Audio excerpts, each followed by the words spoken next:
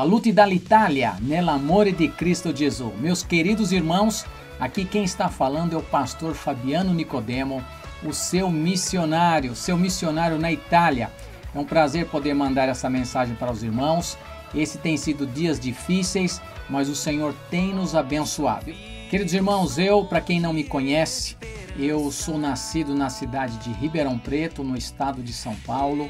Sou missionário da Junta de Missões Mundiais já há mais de 20 anos. Estamos caminhando eu, ah, juntamente com a minha esposa Anne, ah, para 21 anos aqui na Itália.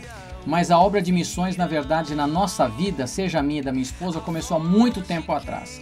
Eu sou nascido numa família, graças a Deus, que já pertencia ao Senhor Jesus. Meus pais me ensinaram ter o temor de Deus, o amor à palavra. E desde muito jovem eu fui sempre envolvido em projetos missionários de férias, ou promifé, evangelização, discipulado e até mesmo acompanhando outros missionários na plantação de igreja. Então isso Deus foi usando para preparar a minha vida. Estudei na Faculdade Teológica Batista de São Paulo, me formei em 1992 e ainda em 1991, eu sendo missionário de uma igreja batista na cidade de Ribeirão Preto, eu viajava todo final de semana de São Paulo para Ribeirão onde eu fui o seminarista da igreja, plantando a Igreja Batista da Fé na cidade de Ribeirão Preto. Uh, depois disso, uh, ou neste meio de tempo, eu me casei com a Anne Muniz Costa e agora Nicodemo, e nós viemos para a Itália em 1998 uh, para trabalhar pelo menos em duas áreas principais: plantação de igreja e formação de nova liderança. E nós chegamos na cidade de Nápoles em agosto de 98. Ali nós ficamos por cinco anos. Nossos três filhos nasceram na cidade de Nápoles. Então nós temos a Fabiola, o Fernando e o Fabrício. Então três italo-napoletanos. E depois dali de termos plantado uma igreja, a Igreja Batista em Arzano, na província de uh, Nápoles, uma experiência fantástica é maravilhosa realmente para a nossa vida. Deus nos levou para uma outra região da Itália, porque ah, nós estávamos buscando estar trabalhando em regiões da Itália onde nós tínhamos pouca ou praticamente nenhuma igreja. Então, de Nápoles, no sul da Itália, que é menos desenvolvido que o norte, nós fomos para a cidade de Tiesena depois de fazer várias pesquisas de campo, analisar bem onde poderíamos plantar igreja, com duas famílias de irmãos que tinham deixado o sul, vindo para o norte para poder trabalhar pela falta de trabalho no sul, eles vieram para Tiesena. E ali Deus foi trabalhando. Tiesena está na Emília-Romanha e aqui nós começamos em 2003, no final de 2003, uma igreja do zero e nós tínhamos os três filhos pequenos e Deus, irmãos, deu uma benção muito grande, porque a igreja foi consolidada, plantada. Através dessa igreja nós estamos já começando, já começamos, né, uma outra igreja, a Igreja Batista em Rimini, que talvez os irmãos já ouviram falar dessa cidade, que é bem conhecida aqui na Itália e, e também fora da Itália.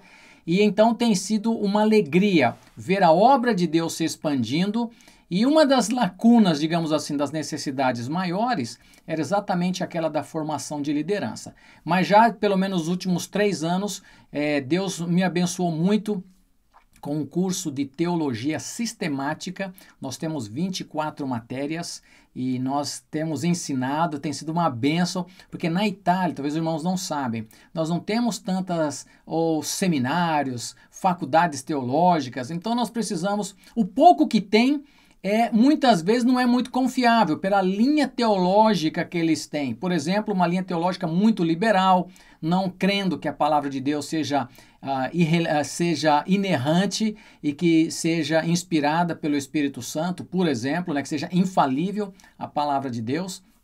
Então, o que, que precisa? Precisa formar o, o, futuro pastor, o futuro diácono, o futuro missionário dentro da própria igreja. E foi isso que nós temos feito. Deus tem dado esta alegria. Nós temos já dois jovens, um de Cesena e um de Nápoles, que veio a família de Nápoles para Cesena. Os dois, eu fiz o casamento deles, batizei, foi uma grande alegria e eles estão aí como meu braço direito e esquerdo, juntamente com a liderança da igreja, os irmãos da igreja, trabalhando. E é uma benção realmente poder ter dois italianos que trabalham comigo. A nossa igreja, ela é uma igreja também internacional. Nós temos a maioria são italianos, Mas a Itália hoje, como toda a Europa, tem uma forte uh, imigração de tantos lugares do mundo. Então nós também temos alguns brasileiros na igreja, nós temos ingleses na igreja, nós temos romenos, nós temos uh, outros colombianos, por exemplo, nós temos nigerianos. Então assim, eu já batizei gente de quase todas as nações e é realmente um privilégio, uma alegria poder ter uma igreja internacional, como internacional é o povo de Deus. E por fim, meus irmãos, nós estamos aí nessa grande Itália. Você fala, como é que é a Itália? A Itália ainda precisa de missionário? Eu quero passar para os irmãos bem rápido alguns dados para que os irmãos tenham ideia de qual é a situação aqui deste país. Agora, a Itália tem 60 milhões de habitantes. Uh, ah, 74% dos católicos são, assim, das pessoas são católicas, 74% da população, mas apenas 24% desses 74 nominais, né, realmente frequentam a Igreja Católica. Para você ver que a religi religiosidade é muito forte, mas ao mesmo tempo ela é muito nominal, é algo superficial, é uma tradição externa. Roma é a sede mundial da Igreja Católica Romana. E, mas na cidade de Roma também existe a, a sede, digamos assim, a maior mesquita da Europa. E nós sabemos que uh, hoje na Itália, assim, é, tem esse, esse caldeirão também de religiões, né? Então, do Oriente, uh, também essas tradições que existem muito aqui no país. Nós temos, por exemplo, 3% de islâmicos são presentes né, na, na Itália, na população, são pelo menos uh, 2 milhões, segundo a pesquisa uh, do Chancellor. E nós temos também 22,6% entre agnósticos, ateus e sem religião. Então, o Deus desse país, principalmente, é o Deus dinheiro, as riquezas. Uh, que eu posso dizer para os irmãos, em termos de protestantes, de evangélicos, são 0,9%, não tem nem 1% ainda ok? São mais ou menos aí 700 mil. Uh, mas dentro desses protestantes, uma ala liberal é muito grande, digamos assim. Pessoas, como eu disse no início, que não creem que a Bíblia seja inspirada, uh, que seja uma palavra infalível e inerrante, né? a palavra de Deus. O que tem muito aqui são, em primeiro lugar, são os católicos. Em segundo lugar, são uh, os muçulmanos. Em terceiro lugar, são os testemunhas de Jeová. Então são muito fortes os testemunhos de Jeová. Outra coisa que pode assustar os irmãos é que na Itália existem pelo menos 100 mil bruxos trabalhando de tempo integral aqui neste país. O satanismo é muito forte, principalmente na região de Torino, ok? Ah, em, em, em contraposição, existe apenas um pastor para cada 380 mil habitantes. E é por isso que eu peço que os irmãos orem por esse país ok? Nós precisamos realmente de termos aí pessoas que conheçam o amor de Deus, que estão prontos para fazer discípulos. A Itália tem 8.101 municípios. Quando eu falo municípios, tem lugarejos muito pequenos. Né? A Itália é feita disso, não só apenas grandes cidades como Roma, Milano, uh, Nápoles, Torino, mas existem muitos municípios pequenos.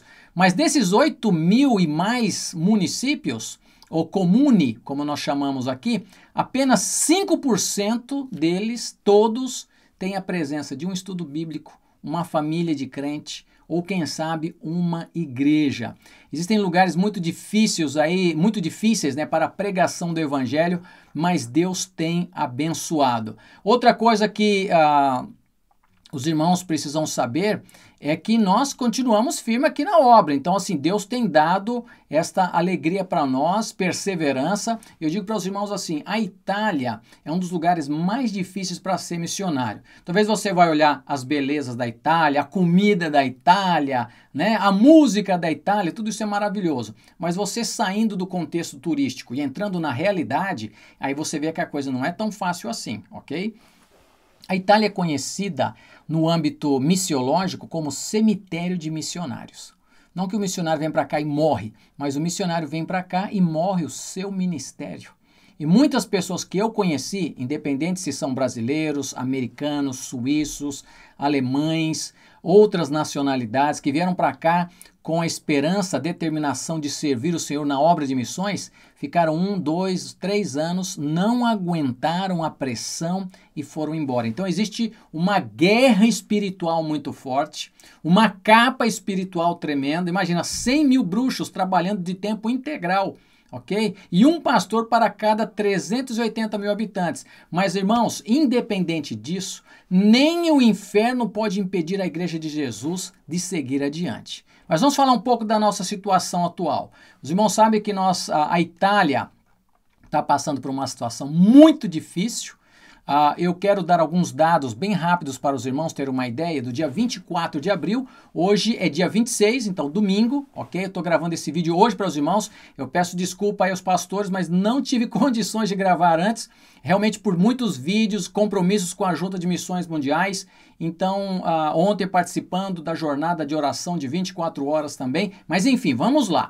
Olha, a Itália no dia 24 de abril tinha a uh, casos positivos 106.527. Agora você imagina isso, né, fazendo uma comparação com o Brasil, que tem. A Itália seria um quarto da população praticamente do Brasil. Só que nós temos, em termos de números de infectados aqui na Itália, 10 vezes mais do que o número de infectados do corona aí no Brasil. Infelizmente, faleceram 25.969 pessoas. Graças a Deus, foram curados 60.498. Mas é uma situação muito difícil ainda. Eu não posso sair de casa, eu tenho que ficar em casa. Eu e a população toda, ninguém pode sair de casa. Eu tenho uma, a minha esposa, que ela é enfermeira, a Anne, ela trabalha também como enfermeira aqui e ela sai. E olha só a bênção de Deus, apesar de tudo isso, ela está saindo, está trabalhando, volta para casa. Eu durmo com a minha esposa, naturalmente, e graças a Deus nós estamos todos bem. Isto é para agradecer ao nosso Senhor. Agradeça a Deus que a família missionária está bem. Agradeça a Deus ah, que também Todos os nossos irmãos da igreja de Tiesene e de Rimini estão todos bem para a graça do nosso Deus. E aí, diante dessa dificuldade que nós estamos vivendo, de não poder nos encontrar nem mesmo como igreja, o que, que a gente faz? Nós estamos nessa situação de não podermos nos encontrar desde a última semana de fevereiro. Então, passou março, está passando abril e estamos chegando em maio. E ainda a gente não tem a perspectiva de quando vamos poder nos encontrar. Então eu falei, meus irmãos, precisamos reagir. E com força, com coragem e determinação. Eu nunca fui um missionário, um pastor em tempos de pandemia, mas Deus tem abençoado, tem nos dado segurança. E aí, meus irmãos, nós fomos para a internet em pouco tempo, Deus deu assim a, a, habilidade, dom de Deus, misericórdia de Deus, através de uma missionária na área de filmagem, de registração, de edição, passou várias dicas, ensinamentos para nós. Então hoje nós temos, eu tenho meu canal no YouTube, depois eu vou deixar aí o nome direitinho para os irmãos, que é no youtube.com slash nicodemof. Vai lá, dá um like, se inscreve no canal também para você receber mais notícias. Então nós temos o canal no YouTube, tem o canal das igrejas também, de Rimini e de Tiesena. Se você procurar, vai achar isso na internet, no YouTube. Temos as páginas no Facebook, ok? Onde nós estamos também ali ah, fazendo todo esse trabalho, ou seja, de evangelização. Então nós estamos hoje, para os irmãos terem uma ideia, eu tenho cinco lives por semana às sete horas da manhã, que nós temos o um novo amanhecer, tempo de oração, se chama Alba Nova. Então a gente faz oração. De quinta-feira tem um encontro de oração no Zoom, todo mundo junto, a gente conversando. Na quarta-feira, aí eu faço a transmissão no YouTube, que é aberto a todas as pessoas, tem estudo, pregação, estudo bíblico, é uma bênção também. Durante a semana, nas terças-feiras tem o encontro das irmãs no Zoom, que as irmãs estão fazendo. Nós temos no sábado o encontro das crianças da escola dominical, que elas também estão fazendo. E depois, no sábado, os jovens estão se encontrando. E no domingo, nós estamos nos encontrando, todo mundo, no YouTube. E, meus irmãos, é muito trabalho, é muito trabalho, mas tem sido abençoado Então Deus tem dado sabedoria, mas eu peço que os irmãos orem para que tenhamos muito mais sabedoria, para que saibamos ah, não apenas a fazer o culto que a gente faria no caso da igreja no templo e transmitir. Não, é uma coisa que os irmãos, se os irmãos entrarem na internet, desde a minha primeira apresentação, digamos assim, da minha primeira transmissão até agora, eu já mudei o estilo, a linguagem. Então eu procuro ter uma parte que é gravada, outra parte que eu estou interagindo com as pessoas, oração. Por exemplo, o programa de oração é ao vivo. Então as pessoas estão ali, me mandam o pedido de oração, eu estou orando, estou escrevendo, estou lendo, eles estão participando, eles estão vendo que eu estou ali com eles. Isso é uma bênção. Eu peço que os irmãos orem para que cada dia mais nós sejamos unidos e nós possamos aqui na Itália, como Igreja de Jesus, graças a Deus, e que também, meus irmãos, a, a obra de Deus possa nos ajudar a ter cada vez mais oportunidades para pregar o evangelho. Vou contar uma bem rápida aí para os irmãos, que é muito, muito, muito interessante, porque são várias pessoas que a gente nem conhecia bem e através da internet estão se achegando. Então, gente que me escreve, Fabiano, eu estou participando do encontro de oração, obrigado porque vocês oraram, Deus respondeu. Não crente, que me agradece então tem essa moça que é Elisa que me pediu, tem a Teresa que está se aproximando de Jesus, a gente evangelizando, falando do amor de Deus, mas um caso realmente maravilhoso é de Gabriele. Gabriele é um senhor casado, inclusive a esposa dele é enfermeira também, a gente orando pela a vida da esposa, proteção para ela, para ela esposa, e ele trabalha no crematório de Tiesena, da cidade onde eu moro. E os irmãos sabem que no crematório vai fazer a cremação, então agora com esses dias aumentou muito o número de pessoas sendo cremadas.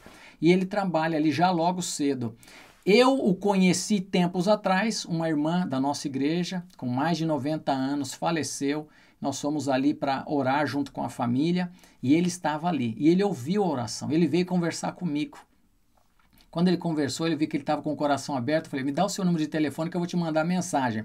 E como eu mando praticamente quase todos os dias um versículo da palavra de Deus nessa lista no, no WhatsApp, aí eu comecei a ter um contato com ele, o convidei para participar do programa uh, de oração na manhã e ele, ele ficou tão entusiasmado. E eu tinha falado para o pessoal, meus irmãos, vocês todos, quem está participando, manda um vídeo que eu vou colocar aqui na, em, ao vivo para você me dizer por que, que, é importante participar do momento de oração e convidar outras pessoas? O que, que ele fez? Ele gravou o tempo que eles estão trabalhando lá, lá no crematório. E ele, claro que não mostrou nenhum corpo, nenhum defunto, pode ficar tranquilo.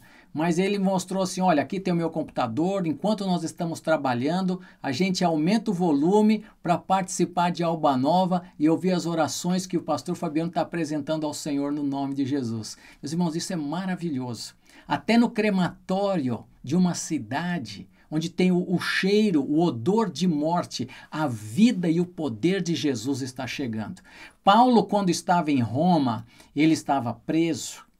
Nem mesmo preso, a prisão pôde impedir que o evangelho continuasse crescer. Hoje nós estamos numa situação onde eu não posso sair de casa, mas o Evangelho tem alcançado muitas vidas para a honra e glória do nosso Senhor Jesus, porque o poder de Deus é maravilhoso e nem o inferno, nem o corona, nem um vírus, nem um inimigo invisível pode impedir a igreja e o teu missionário de pregar o Evangelho.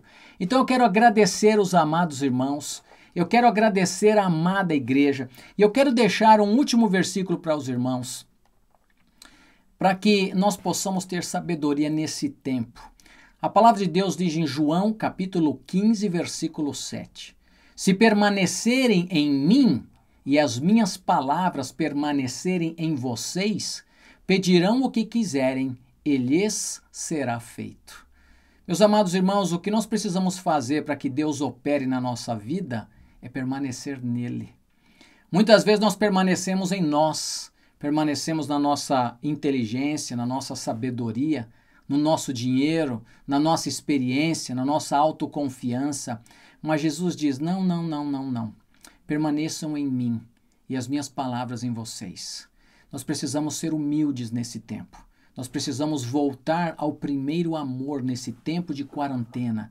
Nós precisamos resetar a nossa vida e saber que Deus tem um propósito maior. Nós precisamos saber que eh, Deus já tinha dado todas essas ferramentas que eu estou usando e já estava usando, mas Deus disse: você vai usar isso com muita mais intensidade, porque de manhã eu tenho gente de Palermo, que está mais de mil quilômetros daqui e tenho gente de Trento que está uns 600 quilômetros daqui e gente aqui da região que está participando, está ouvindo oração, está ouvindo o Evangelho.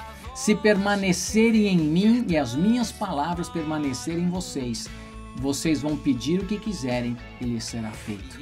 Meus irmãos, que nós possamos permanecer no Senhor, que possamos ser humildes e permanecer na Sua palavra para receber a Sua instrução, porque daí nós vamos ver um milagre. Eu sei que o nosso país está passando por momentos ainda mais difíceis, ah, muitas situações complicadas e eu estou orando pelo nosso Brasil.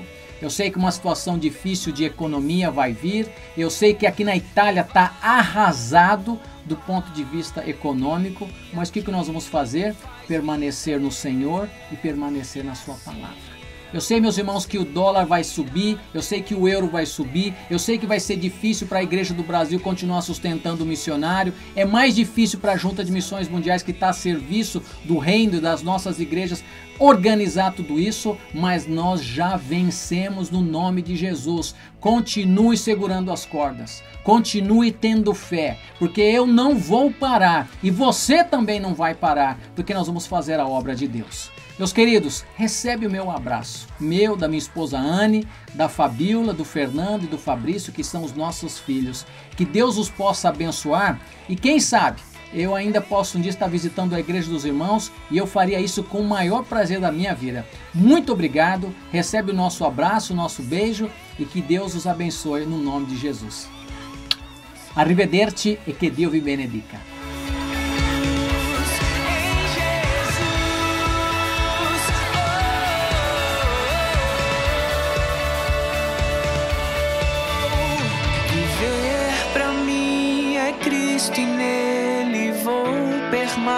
Cristo